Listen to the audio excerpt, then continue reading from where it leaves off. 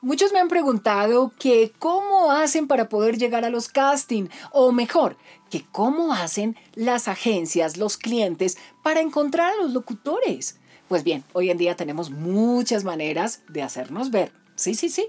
Hay plataformas en las cuales nosotros podemos estar y tener nuestros demos. Recuerden que nuestro demo es nuestra carta de presentación, nuestra tarjeta de presentación de lo que sabemos hacer.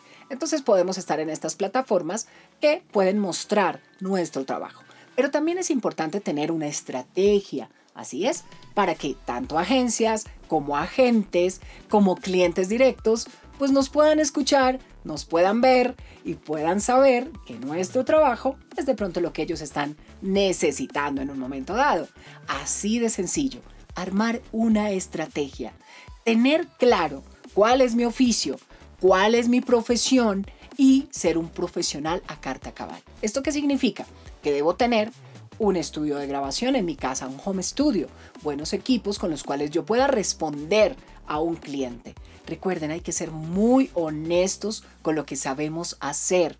Hoy en día, cada vez es más importante que tú tengas un nicho definido.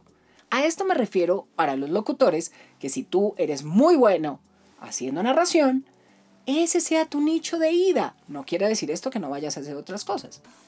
Que si tú eres muy bueno haciendo locución comercial, ese es tu nicho al que le enfocas toda tu energía. O si eres muy bueno haciendo promos, haciendo radio, haciendo audiolibros. Pues bien, esos son tus nichos de enfoque. Tus demos van a ir enfocados en ese nicho y vas a poder tener un nicho directo de mercado que te va a mirar a ti. Claro, por esa especialidad. Con esto no quiero decir que solamente vas a hacer una sola cosa. Tú puedes ser muy bueno en diferentes nichos, pero es muy importante que tengas uno como bandera para que te puedan ver esos clientes a la final, esas agencias o esos agentes y puedan contratar tu trabajo. Esa es una de las maneras y de las formas en las cuales nosotros buscamos mostrarnos y hacemos que nos vean.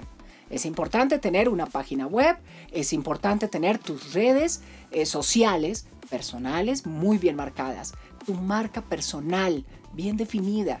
Todos esos detalles son importantes a la hora de querer vender tu trabajo como un excelente profesional del artista que eres, ese artista de voz que estás en este mercado. Si es tu caso, espero que lo sigas haciendo y que lo sigas haciendo de la mejor manera.